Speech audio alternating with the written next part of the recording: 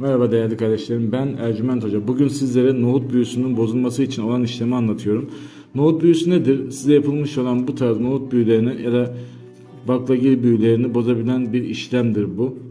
Nok çizgi koyduğum yere adınızı, doğum tarihinizi ve anne isminizi yazın. Daha sonra bu kağıdı ekran görüntüsünü alıp bilgisayar çıktısını alın ve evinizin etrafında bir yere toprağa gömün. 20-25 gün içinde her şeyin düzeldiğini göreceksinizdir.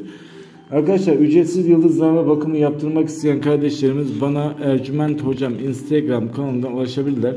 Oradan yazan herkese ücretsiz yıldızlarla bakımını yapıyorum. Tek şartımız bizi takip etmenizi bekliyorum kardeşlerim. Merhaba değerli kardeşlerim. Bugün sizlere cambar büyüsünün bozulması için yapılacak olan işlemi anlatıyorum. Şimdi bu hazırladığımız kağıtta aşağıda isim, doğum tarihi ve anne isimleri yazıyor.